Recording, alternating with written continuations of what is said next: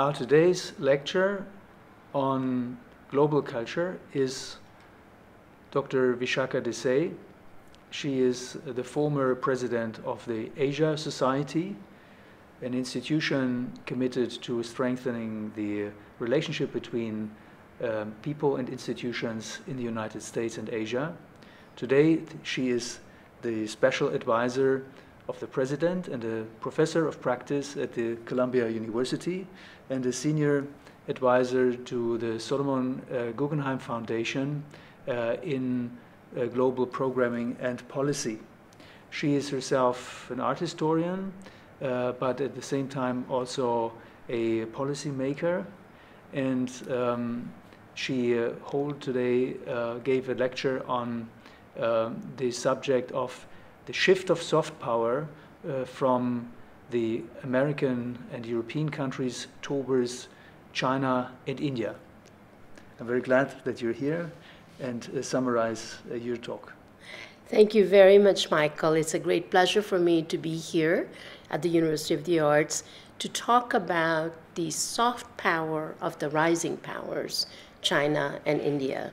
And when I talk about the soft power, there are a number of ways that we define soft power, as has been discussed by Professor Joe Nye, now at Harvard University, which is that often soft power is not just the economic or the military might of a country, but also its culture, its communication, its um, sports, perhaps even. What I really focus on is the cultural aspect of soft power and how, by having certain kind of ways of projecting a country, you can actually make a difference. Um, the reason why I think we need to understand where China and India are vis a vis their cultural strategy is because these two countries together now comprise 50% of the world's population. In fact, by the year 2025, 35, it'll be more like 60% of the world's population.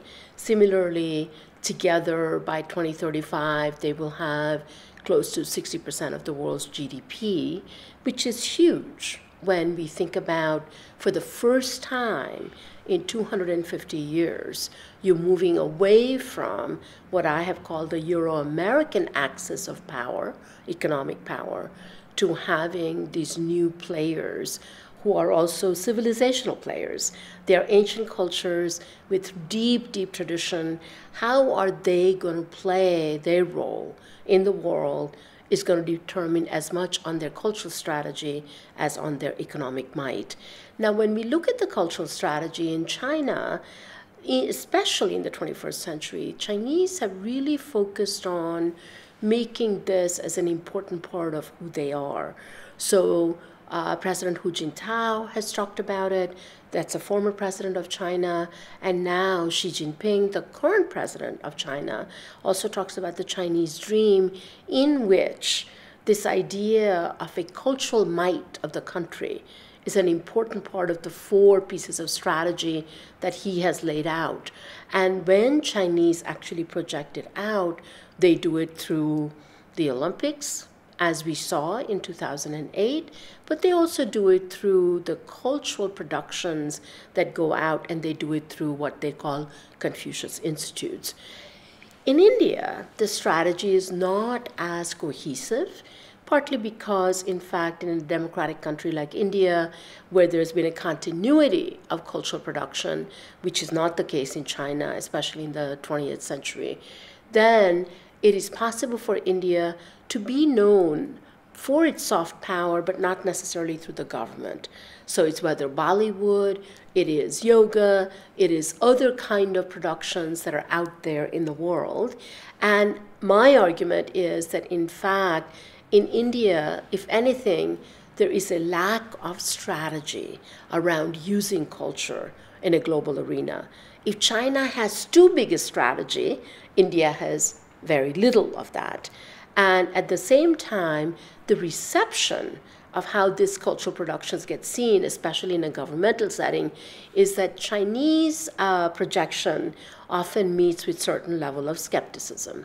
And the reason I believe that skepticism exists is because, in fact, China itself internally has had such a problematic relationship to its own culture, so much so that there is destruction of culture, not just cultural revolution, but throughout the 20th century, where the sense of humiliation, the word the Chinese have used for the last hundred years, is about how their culture did not help them to withstand the power and onslaught of the Western cultures that came into China even though China was not colonized, there is this notion of being victimized.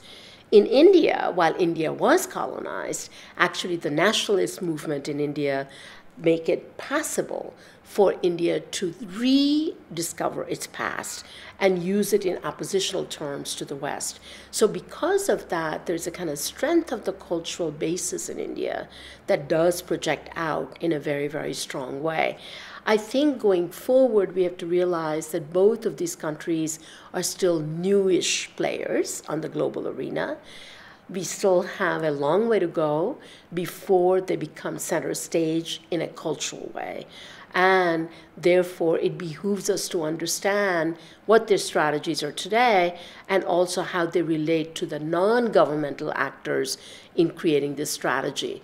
In China, there is a greater degree of dissonance between what happens internally and how they project culture out externally. In India, as I mentioned before, it is much more about many, many projects that go out without having harnessing of that potential which the government needs to focus on. Uh, but the story is young and we are about to see next 20 years 25 years to understand better how culture will play a role in the establishment of these two great civilizations as new 21st century global players. Thank you